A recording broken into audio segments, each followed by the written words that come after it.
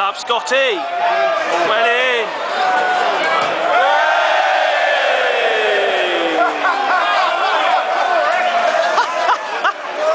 I don't quite believe that.